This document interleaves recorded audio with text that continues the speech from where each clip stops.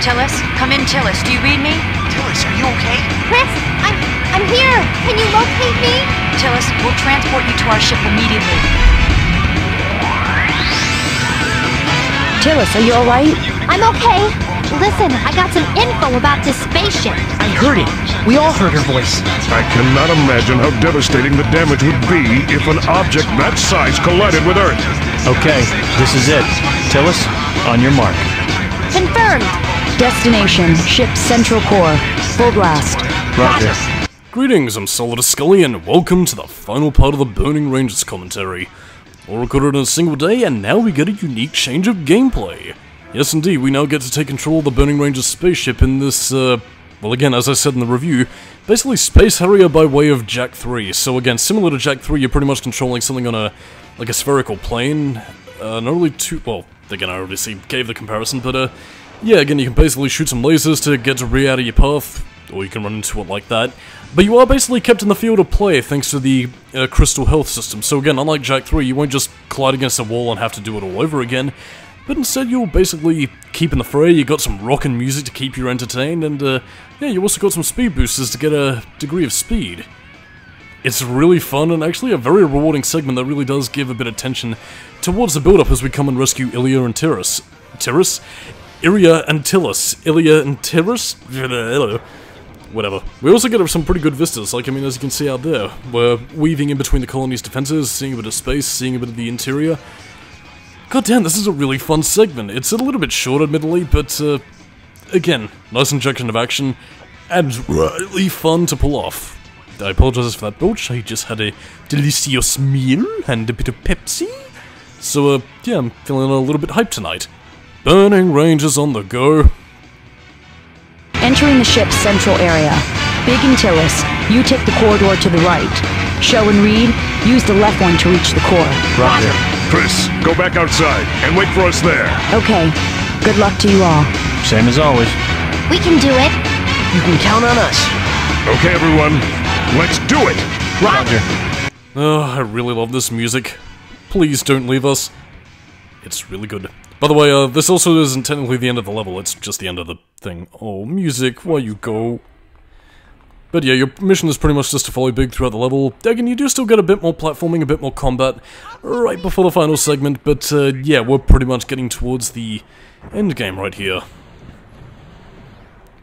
And of course, as you can tell, since we are kind of on a collision course to Earth, yet another Sonic parallel, not quite uh, to the degree of, you know, malice that Gerald Robotnik had in Sonic Adventure 2, obviously, but again, still a factor of mankind's mistakes coming to ultimately pay for them, even if it is the result of one man's compassion for his daughter leading to the demise of many.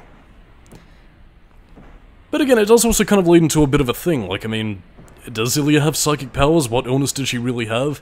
And uh, more to the point, was she using the, the colony itself to communicate with Tillis, or was it just uh, her own abilities?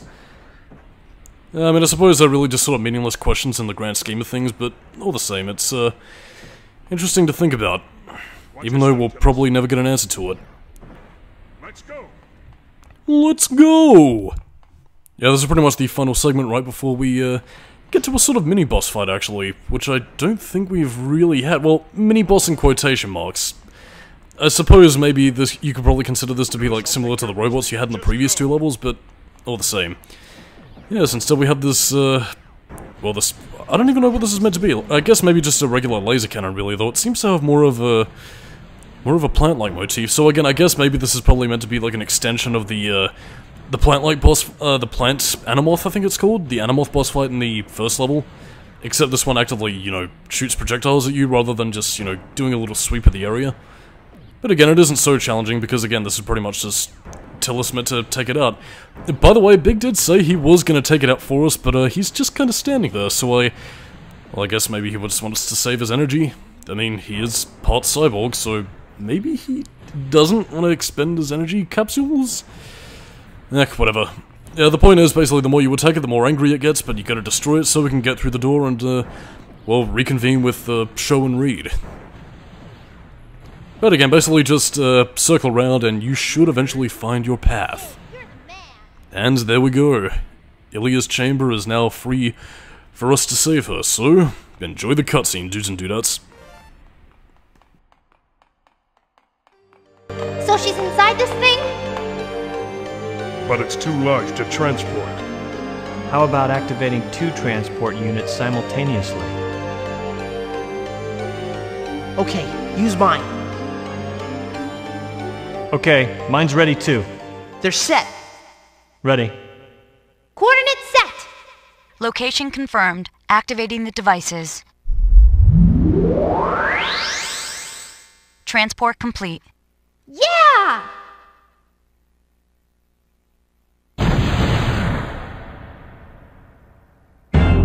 You should go now. We'll stop it here.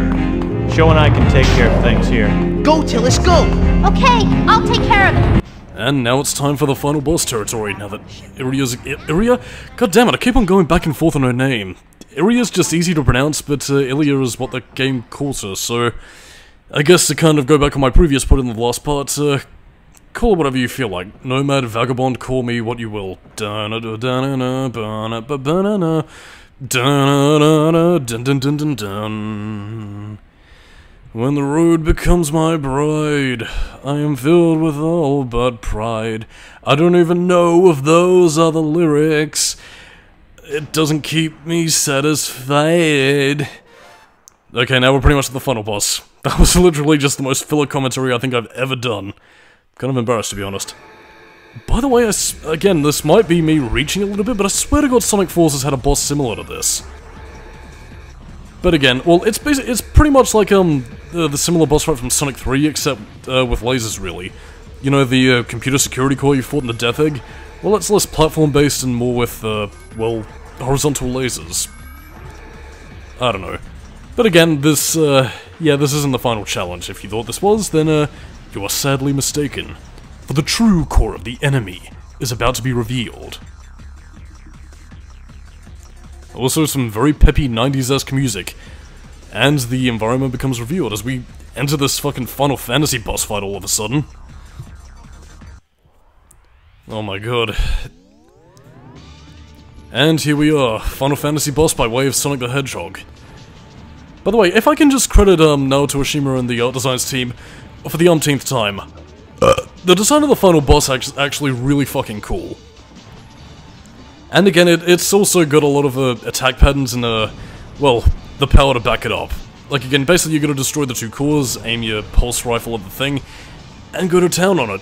Again, it does regenerate rather quickly, so again, you gotta really be on the ball. And of course, you also gotta be in tandem with uh, dodging the flame pillars, tornado flames, and, uh, well, again, the uh, bombs that detonate a little shockwave. So, yeah, you've got a lot to dodge and avoid, and this boss fight just doesn't let up for a second, man. This will actually take you a fair bit of time, so, like, I mean, the bosses do end on their strongest note, and, uh, it's really tense and engaging. Also, get a load of the background. I mean, I know it's hard to see with all the flames and shit, but, uh, god damn, this is fucking trippy and freaky as hell, man. It kind of reminds me of the, uh, that little platforming segment at the end of, um, well, not at the end, uh, uh, during the Nightmare segments of the original Max Payne, where you're just sort of traversing around on those beams. I mean, the platforming section was difficult as hell, especially in the PS2 version, but... God damn, it's freaky, man. Actually, it also kind of reminds me of the, um, the third Doctor credits of Doctor Who, actually, that had the red vibes.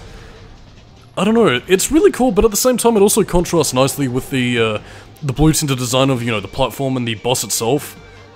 I don't know, like, I mean, it's a nice use of color grading. I mean, the, I mean, the boss arena does sort of fade around every now and again, which, uh, again, is probably just there to give it a bit of visual spice, but again, it's really cool how they managed to get so many colors on display and keep the boss in focus. I mean, a testament to Sonic Team's art design and, uh, well, pretty much their motion designers, really. So, yeah.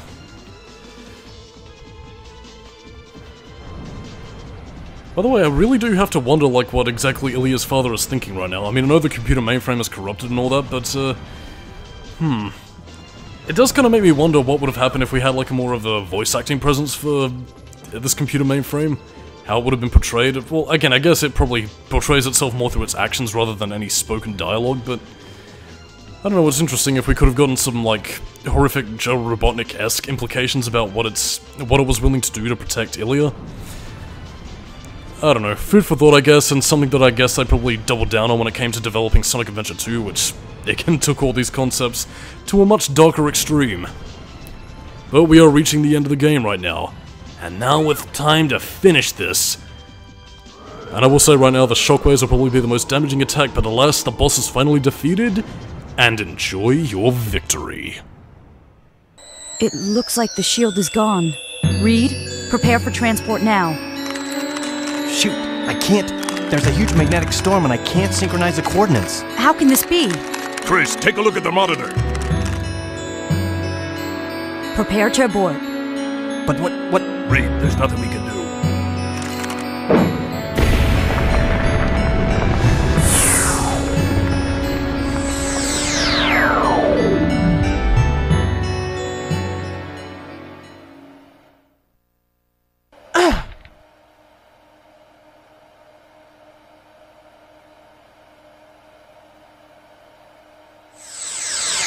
Tillis!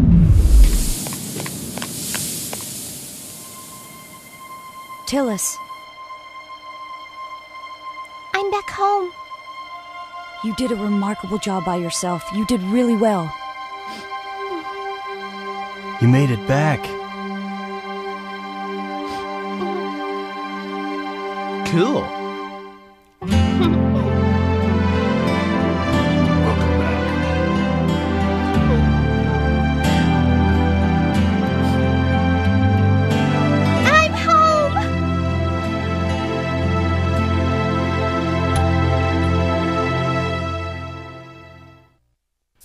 And that, my dear friends, was Burning Rangers for the Sega Saturn and, uh, Sega Saturn. This was never ported anywhere else. Why, Sega? Do you hate money? Do you hate your franchises so very much? Uh, I'm being facetious, obviously. Again, Burning Rangers, I've already said all that I needed to in the review, and I'm gonna elucidate a little bit more on this. By the way, I swear to god Sonic Mania pays like a nod to this song in Titanic Monarch.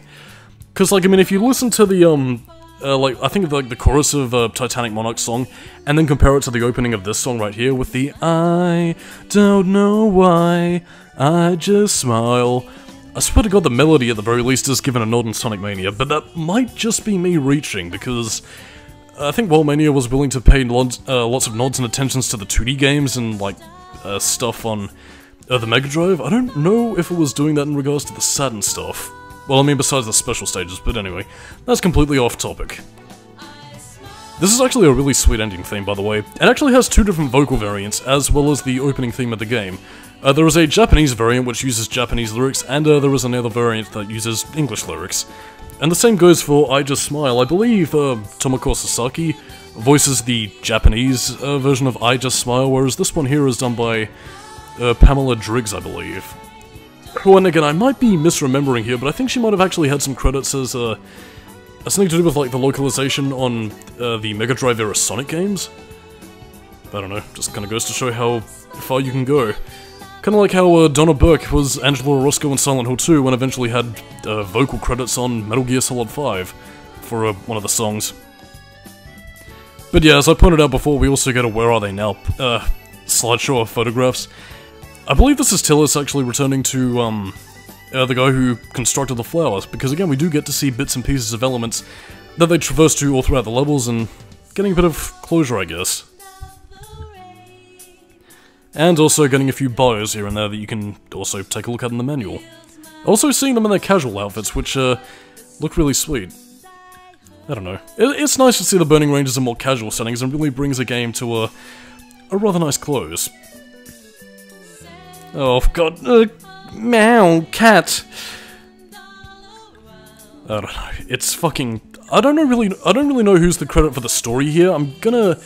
I'm gonna go out on a limb and say that Yuji Naka probably had the most to do with this, but again, I can't really. I can't really say too much to be certain on that. But again, this game is just.